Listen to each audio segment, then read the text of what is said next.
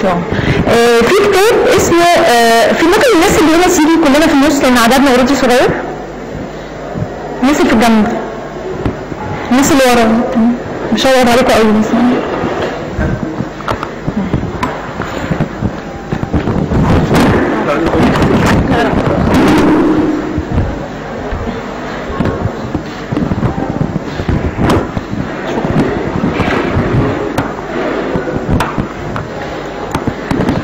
في كتاب اسمه العادات السبعة للناس الأكثر فاعلية. الكتاب ده بيتكلم إزاي تستغل كل طاقتك عشان خاطر تطلع أحسن ما عندك أو تتفاعل بأقصى حاجة عندك. طيب أنا خدت منه النهارده مقتطفات عشان نشوف إزاي في الخدمة ممكن نطبق المبادئ دي عشان إحنا لسه يعني يعتبر لسه في بداية سنة جديدة. فهو ممكن إن إحنا النهارده نستغل كل طاقتنا مش كل سنة في نهاية آخر نيروز نقعد نراجع نفسنا ونقول إيه ده أنا قصرت ده أنا عملت أنا نفسي بعمل كده. آخر كل نيروز ده أنا قصرت ده أنا عملت يا ريتني كنت اشتغلت بالطريقة الفلانية. تعالوا نمشي خطوة خطوة ونشوف إزاي في الخدمة ممكن نستغل أقصى طاقة عندنا وربنا بقى يكملها هو ويطلع في الآخر إيه؟ لبركة المخدوم. طيب أول حاجة أول حاجة بتقول كن فعال. يعني إيه كن فعال؟ لازم نبقى عارفين إن أي قرار في حياتنا أنا المسؤول عنه؟ إيه إن ما انزلش افتقاد. مين السبب إن ما انزلش افتقاد؟ أنا السبب. اللي ما حضرش الدرس الجمعة دي مين السبب إن أنا ما حضرش الدرس؟ أنا. اللي آخر السنة اللي فاتت بتاعة النيروز حاسس إن هو مقصر. مين السبب؟ أنا ولا أمين خدمتي ولا زميلتي في الفصل؟ ولا أهلي في البيت؟ مين؟ يبقى أنا المسؤول إن أنا أنظم حياتي عشان خاطر ما أطلعش آخر السنة بتاعت النيروز أقول ده أنا قصرت. لازم تعرف إن أنت المتحكم في حياتك. أول عادة بتقول كن فعال. يعني إيه؟ يعني تفهم إن أنت المسؤول وأنت المتحكم في حياتك. تمام؟ طيب آه، درجة تفاعلك ودرجة أمانتك في الخدمة أو في حتى في أشغالنا درجة تفاعلي في الشغل ودرجه إنتاجي في الشغل معتمد عليا أنا. حتى لو مثلا مثلا آه، زميلتي في الفصل ما بتحضرش خالص وما بتجيش. حتى لو امين خدمتي ما بيسألش عليا. sorry يعني منال الخدمة بس بيقول اسوء ال examples يعني. حتى لو آه، الخدمه تقيلة عليا قوي ومسكني حاجات كتيرة جدا وأنا مش عارف محتاج فيها في النص. ده يعتمد مشكلتك انت مش مشكلة آه، آه، ربنا اللي وكلك في الخدمه دي وادالك ان انت تبقى من بريفليج ادالك الميزة ان انت تبقى خدامه دي أول حاجة. ودي مش مشكلة إن أمين الخدمة برضه ما بيسألش عليك انت ما تعرفش ظروفه. وبرضه مش مشكلة إن زميلك ما بيحضرش. دي بتاعتك انت. نظم الظروف اللي حواليك في الخدمة وحاول إن أنت تمشي بأمان عشان خاطر ربنا وكلك في الخدمة دي. إيه، أول عاده بتقول كن فعال يعني تفاعلك وتصرفك في المحيط اللي حواليك بيعتمد على إيه؟ على حضرتك مش على الظروف حتى لو شيل حتى لو وقول بالرغم من الناس الناجحة تقول ما تقولش حتى لو تقول بالرغم من أنا السنة دي بنعمة ربنا اشتغلت كويس في في ال- في الخدمة بتاعتي بالرغم من الظروف اللي كانت معاكسين بالرغم من ضغط الشغل عليا بالرغم من إن مثلا المخدومين في الفصل السنة دي كانوا وحشين جدا. تمام؟ فأول عادة بتقول إيه؟ كويس فعال أول حاجة ممكن نستخدمها برضو من العادة دي مع المخدوم بقى إن أنت تبقى فعال مع المخدوم. إزاي؟ تبقى جود ليسنر العاده دي بتقول إن ساعات كتيرة وإحنا بنقعد سنين نتعلم سنين نقعد نتعلم الت- ال- التعليم والكلام والكتابه في المدارس 16 سنة بس محدش بيعلمنا إزاي نسمع خدتوا بالكم قبل كده من الحتة دي؟ سنين بيقعدوا يحشوا فينا معلومات معلومات بس محدش علمنا إزاي تبقى جود ليسنر. ممكن نتعلم نبقى فعالين مع المخدومين إن أنت بس تسمع شوية. نسكت شوية ونسمع ونسمع للآخر ولو أنت سمعته للآخر هو في درس هيسمعك للآخر. تمام؟ طيب يبقى ال- العادة دي بتقول نراجعها تاني. ما نقولش حاجات ما نقولش الظروف كانت صعبة عليا. ما نقولش السنة كده أنا مش عارف اتغير ما نقولش آه، أمين خدمتي أو زميلتي في الفصل أو المخدوم ده بيضايقني أنا مش قادرة أستحمله. دي ظروف انت أنت طلع من الظروف دي حل للمشكلة. ما تقولش المفروض كان عليا أفتقد بس أنا ما افتقدتش. المفروض كان عليا أحضر بس أنا ما حضرتش. بلاش نعمل كده خالص. حط ظروف وحط بيها حل. طيب يبقى أول حاجة اتعلمنا إن إحنا نعرف فين المشكلة ونحاول نحلها وما نيأس أوكي؟ طيب العادة اللي بعد كده ابدأ من النهاية. كلمة العادة الأولى بتقول اعرف أنت فين، اعرف أنت واقف فين، أنا النهاردة في الزيتون وعايزة أروح مدينة نصر، دي أول دي أول عادة بتقول كده، أنت النهاردة فين؟ تاني عادة بتقول أنت عايز تروح فين؟ ابدأ من النهاية، أنا النهاردة في الزيتون ده دي العادة الأولى، طب أنا عايزة أروح مدينة نصر، همشي أي اتجاه، تمام؟ العادة التانية بتقول ابدأ من النهاية ليه؟ لما تحط هدف كبير في حياتك وتتخيل إن أنت وصلت للهدف ده هتوصل لو انت النهارده سايب نفسك كده أنا النهارده خادمه في كنيسه العذراء زيتون اشكرك يا رب بس كده مش هتعمل اي حاجة في السنة في السنة الجديدة بتاعت النيروز لكن لو قعدت تقول أنا قصرت السنة اللي فاتت في الافتقاد وفي التحضير طب أنا السنة دي بنعمة ربنا بنعمه ربنا أحضر كل أسبوع هفتقد كل أسبوع خمس خمس بنات أو خمس ولاد عشان خاطر في الشهر يبقى افتقدت الفصل كله. يبقى أنت كده حطيت هدف. أنا عايز السنة دي أهتم بالبنات وبالولاد. أنا عايز ما فوتش ولا مرة افتقاد. أنا عايز أحضر الاجتماع الروحي اللي المفروض أحضره. يبقى أنت كده عملت إيه؟ تخيلت إن أنت هتكون مش مقصر في وجهة نظرك أو في وجهة نظر ربنا في آخر السنة. يبقى أنت كده عملت إيه؟ حطيت هدف. تمام؟ طيب آه لو بديت من النهاية هتقدر توصل يعني هتقدر توصل لها هتمشي steps كده وهتقدر توصل لها. أي حاجة في الحياة ابتدت كانت إيه؟ كانت حلم. اللي كان نفسه يطير كان إيه؟ كان بيحلم إن هو يطير زي الطيور اللي كان بيشوفها دي. ما جاتش في دماغه كده فجأة يلا أنا هركب أجنحة وأحاول أطير. ما حصلتش. حلم كتير إن هو معلش جماعة. حلم كتير إن هو يحلم أو حلم كتير إن هو يبقى آه، يعني بيتحرك زي ال- ال- الطائر أو كده وابتدت بعد كده يترجم الفكرة دي لطريقة إزاي هتطير إحنا برضو كده لو حلمت بحاجة كبيرة قوي حتى لو الحاجة دي كبيرة جدا هتقدر توصل لها مع الخطوات اللي بعد كده. طيب يبقى العادة الثانية بتقول إحنا العادة الأولى بتقول إحنا عرفنا إحنا فين. العادة الثانية بتقول إحنا عايزين بقى نوصل فين. تخيل أنت عايز توصل فين في خدمتك في شغلك في حياتك. ضع الهدف ثم ضع خطة لتنفيذه. أنا هوصل إزاي؟ إزاي هبقى آخر السنة؟ ضميري مستريح ان أنا ما قصرتش. هحضر هحضر الاجتماع هحضر اجتماع صلاة. لو في اجتماع صلاة هعمل 1 2 3 لا، العادة الثانية بتقول حط خطة للهدف اللي أنت عايز توصل له. لو إحنا فكرنا بالطريقة دي هتلاقي دماغك بتفكر بطريقة مختلفة. كم مرة كده تبتدي تفكر أنا في شغلي عايزة أترقى في خلال ثلاث سنين؟ هتلاقي دماغك بتبتدي اوتوماتيك أي حاجة تحللها لفترة زمنية ولطريقة اللي أنا أعملها. أنا عايزة أترقى في خلال ثلاث سنين. طول وعرض هتقدر توصل لها. ولو أي حد غير فكره هتلاقي نفسك حياتك كلها اختلفت بعد كده. مش مش هتصدق إن في حاجة اسمها مستحيل. I can do اعمل أي حاجة. في خدمتي في شغلي في حياتي. العادة الثانية بتقول الفكرة عملناها حط خطة لتنفيذها هتصبح حقيقة أوكي طيب.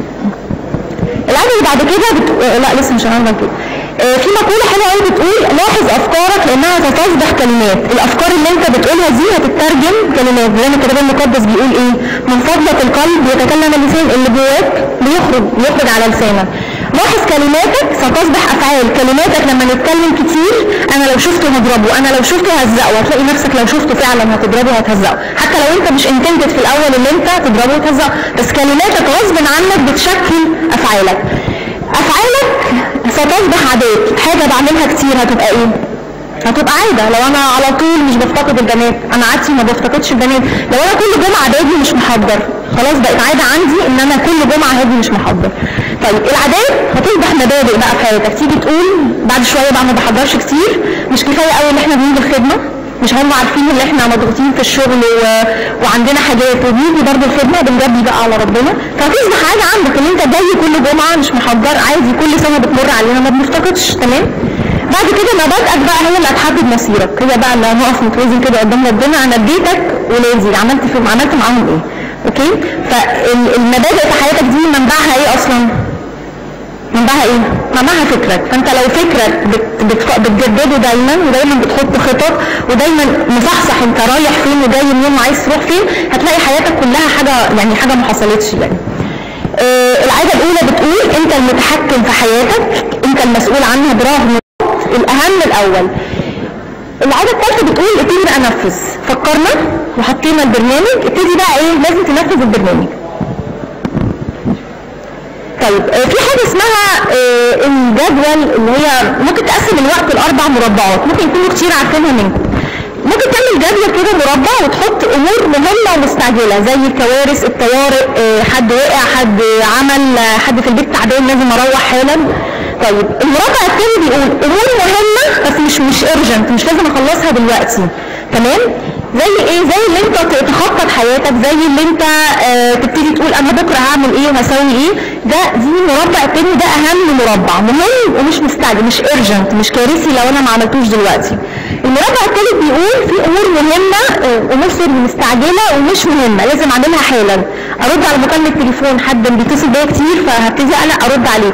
ده حاجة مستعجلة بس ممكن تطلع مش مهمة قوي المربع الرابع بيقول إن هي أمور غير مهمة وغير مستعجلة المربع ده زي تضييع الوقت زي التسكع لو أنا كده زهقان بقوم ألف في شغلي مثلا ما بعملش حاجة أو زي اللي أنا قاعد أتكلم مع الناس ده اسمها أمور غير مهمة وغير مستعجلة في رأيكم أنهي أهم مربع في دول؟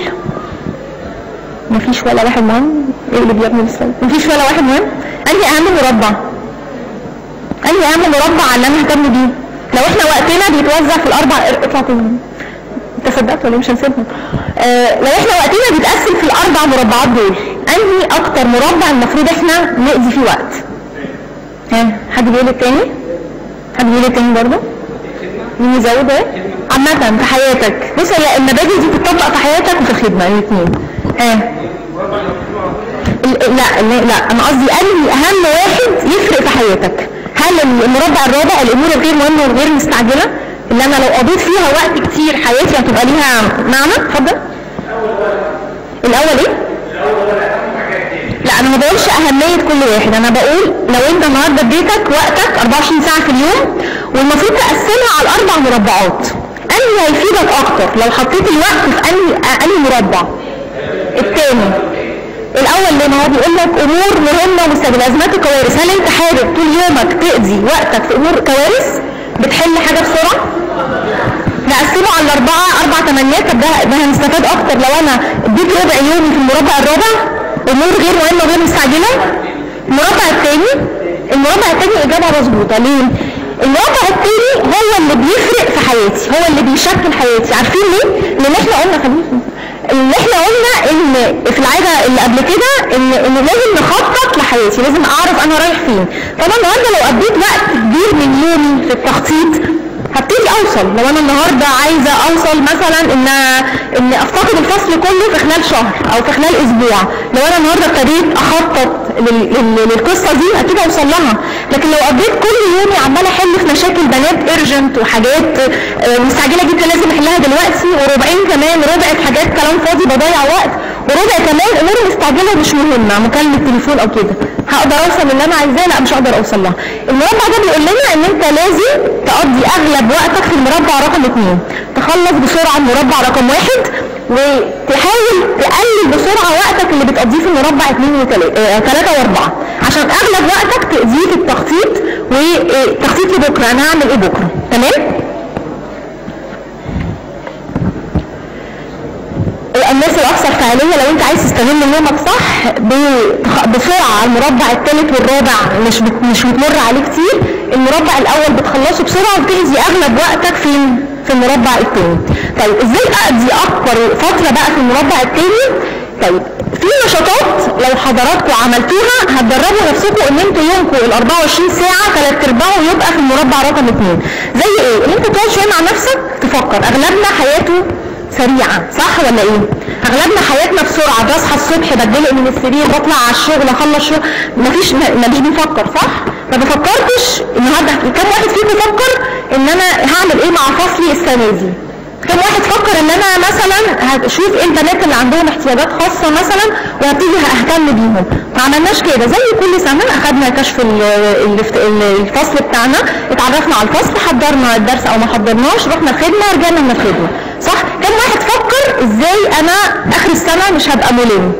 من ضميري. بلاش حتى من اي حد من بره. ده إيه لو أنا دربت نفسي كتير على التفكير ان أنا اقعد كده أحط full stop قبل ما انزل الخدمة الصبح اقعد 10 دقائق كده أفكر أنا النهارده رايح الخدمة ليه؟ أنا النهارده عايزة اوصل إيه من الخدمة؟ عايزة اوصل لبناتي إيه؟ لو قعدت أفكر شوية الصبح قبل ما انزل الخدمة ثقوا ان اليوم بتاع الخدمة هو حاجة مختلفة خالص. إيه تاني؟ التمرينات الرياضية، التمرينات الرياضية بتوسع مداركنا شوية، إزاي؟ ان انت بيبقى عندك طاقة أكتر ولما يبقى عندك طاقة أكتر بيبقى في hormones بتتفرز في الجسم بتخليك عندك قدرة أكتر على التفكير. فطبعا كلنا ما بنعملش كده كلنا بنتمنى نروح الجيم بس ما بنعملش كده. آه، استثمار وقت الفراغ. لو أنا عندي وقت فراغ اللي هو المربع الرابع بدل ما اقعد اتسكع والف على الناس بالتليفونات طب ابتدي أفكر ان أنا اعمل فيه حاجة مفيدة اقرا كتاب ادور اعمل search على حاجة في النت تمام؟ آه، اتخيل دايما مستقبلك هتقدر اتخيل مستقبلك هتقدر تخيلك ده هتقدر توصل له تمام؟ العادة الرابعة بتقول النجاح للجميع. في مبادئ كده بن- بنسمعها كتير اسمها إيه؟ في علاقات إنسانية بتتحدد بالصور اللي إحنا قلنا. أول حاجة النجاح النجاح. يعني إيه يعني أنا أنا وأنت عارفين يعني إيه علاقة؟ يعني يعني إيه علاقة؟ يعني مثلا أنا بتكلم مع آه، miss منى. في حاجة ما بيننا دي اسمها علاقة. آه، في أشغالنا في الخدمة مثلا. إزاي هننجح الفصل؟ ماشي؟ أنا والخادمات اللي معايا في الفصل في ما بيننا علاقة اللي هي الإيه؟ الفصل بتاعنا صح ولا غلط؟ طيب آه، أنواع العلاقات الإنسانية بتتحدد في ست أنواع خلينا نشرحها مع example النجاح النجاح يعني أنا وشريكي في الفصل ننجح مع بعض. إزاي ننجح مع بعض؟ إن أنا وهو نكون ناجحين إن الفصل يقف على رجليه الفصل يبقى بيتقدم له افتقاد كويس الفصل بيبقى إحنا الاثنين بنحضر كل أسبوع ما ينفعش واحد واحد يحضر. دي اسمها win win إحنا الاثنين كسبانين. أقول لكم example تاني آه لو إحنا في مشكلة مثلا مش هقول في الخدمة في الشغل. إزاي نطلع من المشكلة دي؟ إحنا الاثنين كسبانين. هي دي اسمها win win situation دي تسمعوها كتير أكيد دي. طيب النجاح الخسارة دي بيبقى حد عايز ينجح واللي حواليه يخسر. تمام؟ أنا أنجح واللي حواليا يخسر. اللي بعد كده الفشل النجاح. أنا باجي على نفسي قوي عشان اللي قدامي ينجح. طول عمري عايشة في اللي أنا فاشل. تمام؟ بعد كده الفشل الفشل. طب أنا لو فشلت أنت كمان هتفشل. مفيش حد هينجح عليا وعلى اعدائي تمام؟ بعد كده في النجاح أنا عايز انجح بغض النظر اللي حواليا هيعمل إيه ماليش دعوة بيهم ماليش دعوة هم بيعملوا إيه. بعد كده النجاح النجاح أو لا اتفاق. لا ننجح لا إحنا الاثنين كمان إيه ما ننجحش. طيب تتوقعوا أي نوع من الستة أهم واحد نحققه في حياتنا في خدمتنا الاولاني لازم الكل يبقى كسبان. لازم أنا ما وجودي في خدمتي أبقى أنا كسبانة والبنات كسبانين والخدمات اللي معايا كسبانين. كلنا كسبانين. في شغلي برضو كذلك. أي مشكلة تخشوها اتعلموا نبقى العلاقة اللي ما بيننا من أي مشكلة نتعلم نبقى وين إحنا الاثنين كسبانين. بلاش أنا انجح واللي قدامي يفشل مش ده النجاح. مش ده النجاح خالص ان أنا لو أنجح على فشل الآخرين ده مش نجاح خالص. خلينا ندرب نفسنا دايما إن العادة الرابعة بتقول النجاح للجميع كلنا ننجح. لو دخلنا أي مشكلة وتعلمنا إن كلنا لازم ننجح هتلاقوا حياتنا مختلفة خالص. هتلاقي دماغك بتفكر بطريقة مختلفة. هتلاقي دايما دماغك بتقول لك طب أنا ليه أنجح واللي قدامي ما ينجحش؟ هتلاقي نفسك بتخترع أفكار عشان إحنا الاثنين ننجح. فده طبعا بيكون في مصلحة ده في مش في مصلحة المخدوم وفي مصلحتك وفي مصلحه الخدمة كلها. دور عليك. العادة الخامسة بتقول افهم اولا. يعني إيه افهم اولا؟ ساعات كتيرة بندخل في مناقشات وبندخل في الخدمة ومش بن مش بن مش بنحاول نفهم النيدز بتاعت اللي قدامي إيه أو مشكلة اللي قدامي إيه. إحنا بقالنا كام شهر دلوقتي في الفصل الجديد؟ حوالي شهرين صح؟ كم واحد فينا أنا مش عايزة اجابه بس يعني بينكم وبين نفسكم. كم واحد فينا عرف فعلا احتياجات كل واحد من فصل بنات وولاد إيه. البنت دي بتحب تتكلم كتير البنت دي بتحب تعبر عن رأيها كتير الولد ده عنده مشاكل في البيت. الجروب ده عنده بيحب مثلا يعمل شغب كم واحد فينا درس الفصل أعتقد شهرين ده كتير. شهرين ده كتير اللي أنت تعرف المخدوم بتاعك كويس جدا وتدخل بيته وتعرف مشاكله إيه. افهم مخدومك اولا عشان خاطر تقدر تطلع أحسن طاقة ليك في اللي أنت تخدمه تمام؟ آه زي ما أنا قلت لكم المقولة الأولانية سنين علمونا نتعلم نقرأ ونكتب وكده ونتكلم بس ما علموناش نسمع ما علموناش إزاي نفهم بعض. okay؟ طيب. okay. في آه أربع تفاعلات بتبقى آه بنت... إحنا بنتفاعل بيها لما حد بيتكلم قدامنا. في قلق ورا بقى بصوا مش هسكت. خلاص. أه صدقني. في أربع تفاعلات إحنا بنعملها لما الناس بتتكلم. أول حاجة ممكن يبقى المخدوم بتاعي بيكلمني وأنا بتجاهله. مش المخدوم بس أي حد بس أنا يمكن مركزة النهارده على الخدمة. ممكن يبقى المخدوم بتاعي بيتكلم أو سألني سؤال وسط الدرس وأنا كملت الدرس عايزي ممكن المخدوم بتاعي يسألني سؤال أو يقول لي كومنت وأنا أعمل نفسي سامعه بس أنا بتظاهر بتظاهر إن أنا سامعه وأنت مش سامعه فمش هتقدر تقدم له الحل. مش هتقدر تقدم له الحاجة اللي هو محتاجها. هو بيتكلم عشان عايز حاجة. لو فهمنا ان هو عايز الحاجة دي أكيد مش هنرد بالطريقة رقم واحد أو الطريقة رقم اثنين في حاجة ثالثه بختار اللي على مزاجي. المخدوم يسألني سؤال مركب مثلا أو سؤال أروح أنا أختار الجزء اللي يخدم الدرس. لأن هو عنده نية تانية إن هو يعرف إجابة الحتة دي إيه. تفرق في حياته تفرق في خلاصه تفرق في مستقبله فعلا. اهتم بكل كلمة بتسمعها. ممكن آه، تجاوب على جزء دلوقتي عشان ما تعطلش الدرس بس افتكر إن فلان سألك سؤال عايز إجابته قبل ما تروح النهارده المفروض تجاوبه. تناديه بعد ما تخلص يمينة أنت كنت سألتني سؤال أنا ما نسيتش أنا جاوبتك في جزء الجزء الثاني أنا المفروض تعالى نتكلم فيه سوا. ممكن السؤال اللي بيسأله ده يبقى انعكاس عن مشكلة عنده في البيت. ممكن السؤال اللي بيسأله ده تبقى حاجة خطية كبيرة هو عايشها وهو بيحاول يسألك السؤال عشان يعرف الحل ليها إيه. فبلاش نختار ما نسمعه. لا لازم نسمع كويس قوي بقى ده رقم أربعة النوع المفضل اللي انت وانت بتسمع ان انت تسمع كل حاجة. تسمع كل حاجة. أرجوكم المخدومين فعلا بيقولوا مشاكلهم في الكلام إحنا ما بناخدش بالنا. فبلاش نتجاهل بلاش نتظاهر اللي إحنا سامعين بلاش نختار اللي إحنا بنسمعه لازم نسمع كويس. معلش حتى من الخدمة بقى ممكن يزعلوا مني حتى لو الدرس باظ اقفل الدرس وشوف هو عايز يتكلم في إيه. إحنا مش جايين إحنا حكومة مش بنحكي منهج اللي جاي خلاص المخدوم. لو النهاردة خلاص وان أنا اجاوبه على كام سؤال يفرقوا في حياته اقفل الدرس واسمعه وجاوب على الأسئلة اللي هو بيقولها. طيب إزاي انمي ملكة الاستماع عندي؟ إزاي اسمع المغ... يعني اتعلم ان أنا اسمع الناس كويس؟ في كذا طريقة. أول حاجة المحاكاة والتقليد. يعني إيه؟ يعني تقول مينا انت س... مينا سألك سؤال مثلا آه، إزاي استعد كويس مثلا وأنا رايح القداس مينا انت سألتني إزاي استعد كويس وأنا رايح القداس الإجابة دلوقتي هو لما انت تعيد عليه السؤال هيفهم ان انت سامعه كويس. تمام؟ في حاجة تانية؟ آه، سوري دي إعادة صياغة المحتوى المحتوى. والتقليد. خليني بس أراجع معناها إيه المحتوى والتقليد أنت قيل عليه مقالي وت... وت... وتجاوب بعد كده. إعادة صياغة المحتوى تقول له أنت قصدك إزاي استعد جسديا ولا إزاي استعد روحيا قبل ما أروح ال- القداس فانت كده فهمته اللي أنا سامعه. لما تعيد عليه اللي هو قاله في أول مرة يبقى انت بتقول له إيه؟ أنا سمعتك يا حبيبي. لما تقول له صياغة ال- السؤال بطريقة ثانية انت برضه بتقول له أنا فهمت انت عايز تقول لي إيه؟ الإجابة كالاتي في حاجة ثالثه إن أنت تظهر مشاعرك. تقول له آه دي ده سؤال حلو قوي. ده هيحسسه إن أنت سامعه كويس. رقم أربعة بقى إن أنت تعيد صياغة المحتوى وت... وتقول له مشاعرك.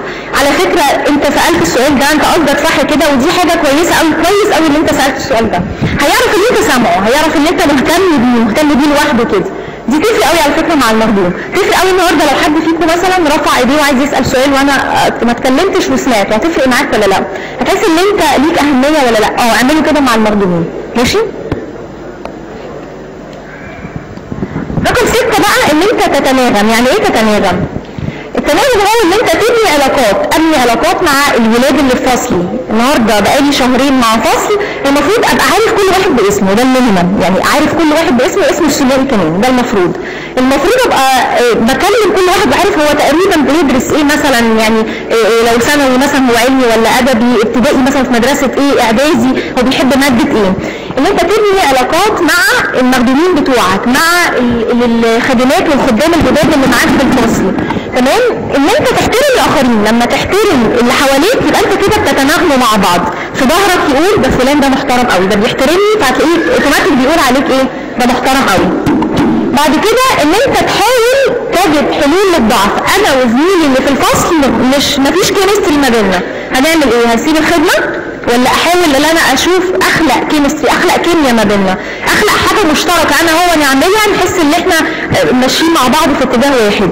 ممكن زميلتك مثلا أو زميلك اللي الفصل ده وأنت مش لسه مش متعود عليه قوي لازم تحل المشكلة دي؟ شوفوا حاجة مختلفة تعملوها مع بعض. انزلوا افتقاد مع بعض وبعد الافتقاد اقفوا اشربوا أي حاجة مع بعض أو آه، روحوا في بيوت بعض. أنا عايزك النهارده تيجي عندي البيت نتكلم نحكي شوية على البنات اللي في الفصل.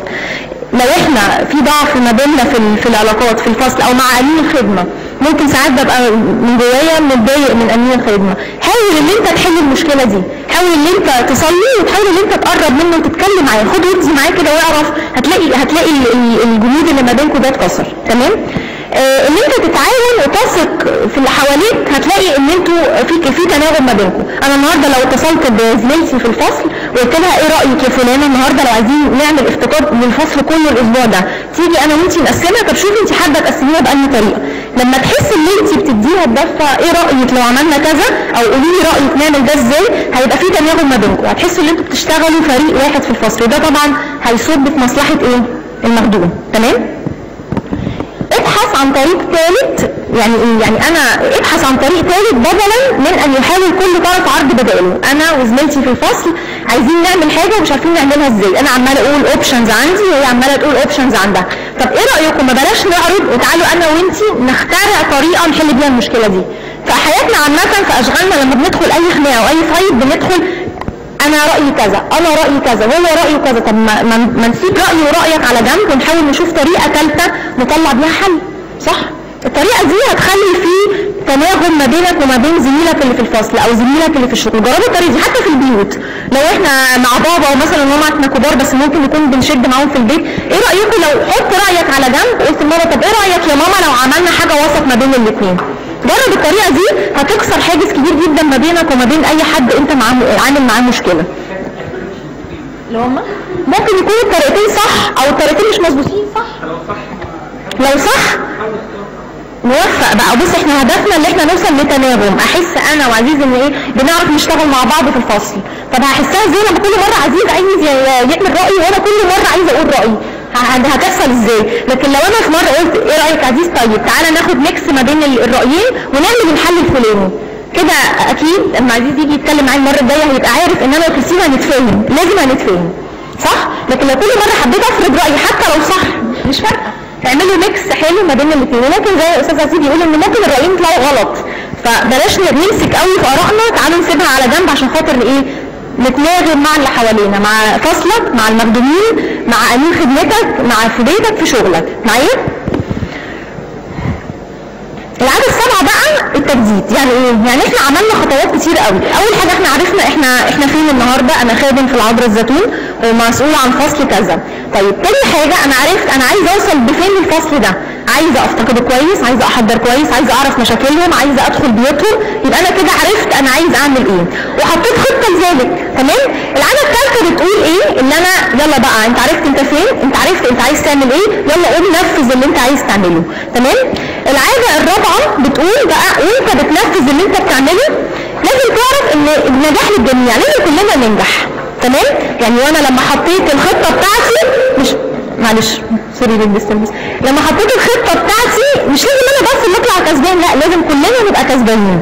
طيب العاده الخامسة بتقول عشان كلنا نكسب عشان تكسب في محيط خدمتك ومحيط شغلك وبيتك لازم تفهم اللي حواليك كويس. نفهم اللي حوالينا كويس. اسمع كويس. وتفاعل مع الناس كويس عشان الناس تبتدي تقوم وتحل يعني تتكلم معاك في مشاكلها.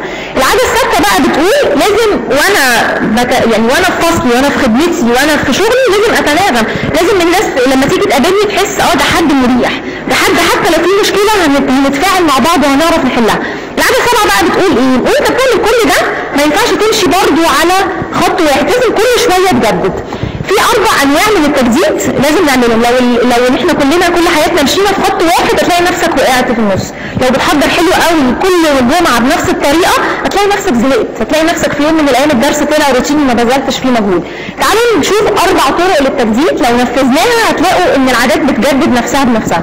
أول حاجة في البعد فيزيائي البعد الخاص بالصحة. كلنا طبعا بنريح بنقعد قدام التلفزيون بس حد فينا فكر يروح الجيم؟ حد بقى لما فكر يروح الجيم راح فعلا الجيم. حد لما راح الجيم واظب على الجيم أنا واحدة من الناس اللي ما واظبتش. كلنا ما بن... كلنا مش بنهتم بال... بجسمنا صح. كلنا بنهتم بيه الاكل والشرب والراحة قدام التلفزيون. لكن مش بنحاول ندي نفس جسمنا حاجة مفيدة تفيده فعلا زي التمرينات الرياضية زي الجيم زي شوية مشي. الموضوع ده بيفرق جدا. جربوا كده أسبوع كل يوم تمشوا نص ساعة. هتلاقوا نفسكم آخر الأسبوع حاجة ثانية خالص. في بعد عقلي ان أنت تقرأ وتطور من نفسك. كم واحد بيقرا بانتظام هنا. كم واحد. ولا حد فينا بيقرا بانتظام بانتظام؟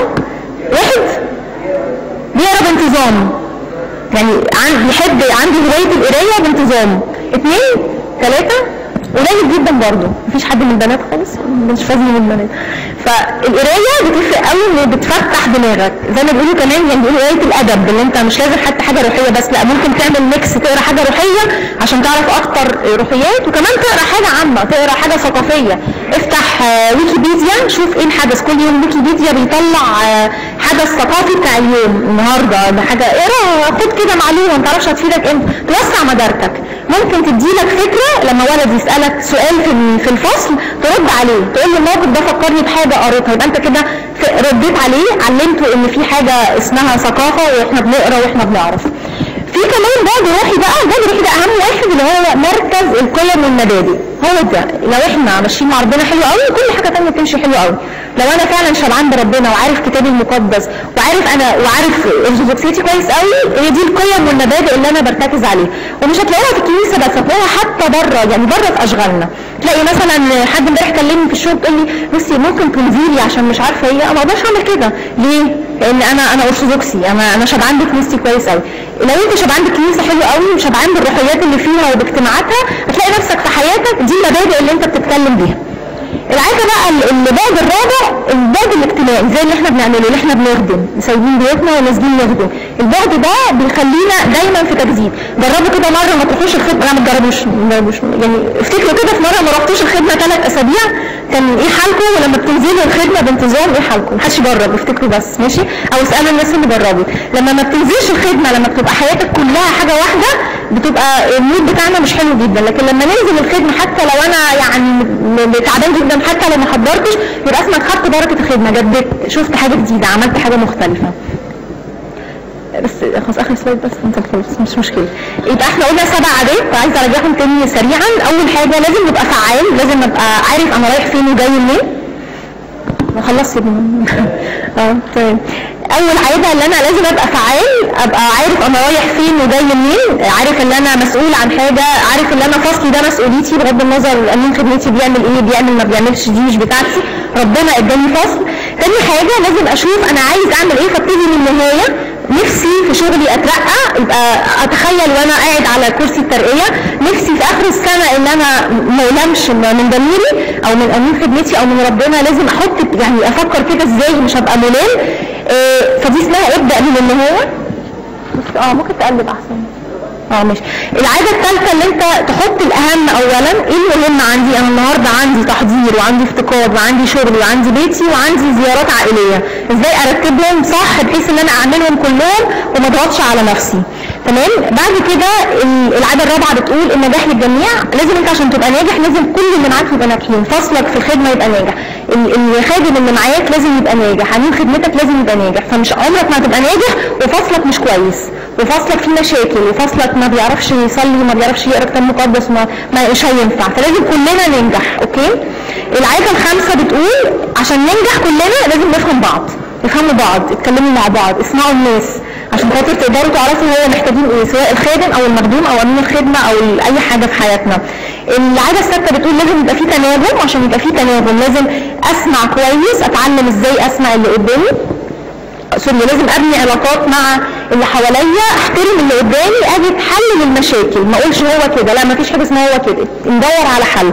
العادة السابعه بتقول لازم يبقى في تجديد في حياتنا. تجديد لأنواعه نقرا ننزل نمشي آه، نخدم لو إحنا بنخدم في حاجة ومحتاجين نزود أكتر ممكن نزود.